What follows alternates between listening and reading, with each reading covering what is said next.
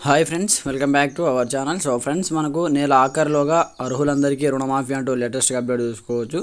రాష్ట్ర ప్రభుత్వం ప్రకటించిన రైతు రుణమాఫీ పలు సాంకేతిక కారణాలతో క్షేత్రస్థాయిలో అందటం లేదంటూ కూడా చూసుకోవచ్చు. రైతుల సందేహాలకు డిఏఓ సమాధానాలు అంటూ కూడా ఇక్కడ అప్డేట్ చూసుకోవచ్చు అనమాట సందేహాలకు సమాధానాలు ఇస్తున్న వాసిరెడ్డి శ్రీధర్ జిల్లా వాసిరెడ్డి శ్రీధర్ జిల్లా వ్యవసాయ అధికారి అనమాట అయితే కంప్లీట్గా మనకు సో కరీంనగర్ సంబంధించి న్యూస్ అనమాట అయితే ఆ రాష్ట్ర ప్రభుత్వం ప్రకటించిన రైతు రుణమాఫీ పలు సాంకేతిక కారణాలతో క్షేత్రస్థాయిలో అందటం లేదు.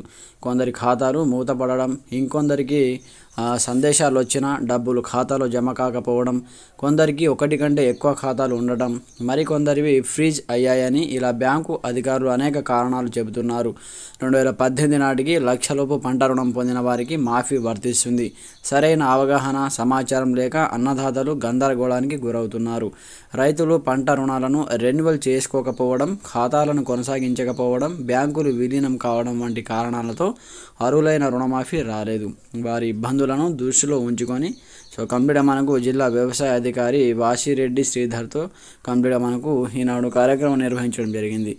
రైతులు అడిగిన పలు ప్రశ్నలు సందేహాలకు ఆయన సమాధానం ఇచ్చారు. జిల్లాలో ఇప్పటి వరకు నలభై నాలుగు వేల ఐదు వందల ఇరవై మంది రైతుల ఖాతాలో రెండు వందల ఇరవై తొమ్మిది పాయింట్ మూడు కోట్లు జమ అయినట్లు తెలిపారు. సుమారు డెబ్బై ఫోన్ కాల్స్కు సమాధానం ఇవ్వగా మరో వంద వరకు వెయిటింగ్ కాల్స్ వచ్చాయంటూ కూడా అప్డేట్ అయితే చూసుకోవచ్చు అనమాట అయితే ఎంత రుణం తీసుకున్నా వారికి మాఫీ చేస్తారు సో ఈ- వీళ్ళందరూ అడగడం జరిగిందనమాట వాటికి సమాధానం వచ్చేసి రెండు వేల పద్దెనిమిది డిసెంబర్ పన్నెండు లోపు రుణం తీసుకున్నటువంటి వారందరికీ లక్ష రుణమాఫీ వర్తిస్తుంది.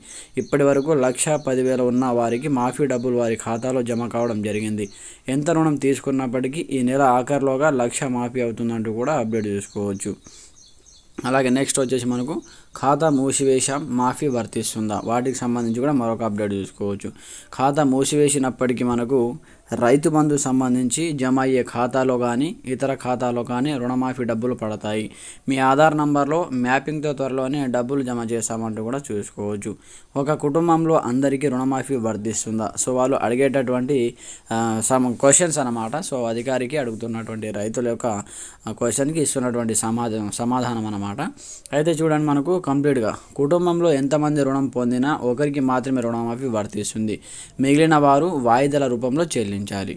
అలాగే బంగారం రుణం తీసుకున్న వారికి వర్తిస్తుందా? సో ఇది కూడా మంచి పాయింటే.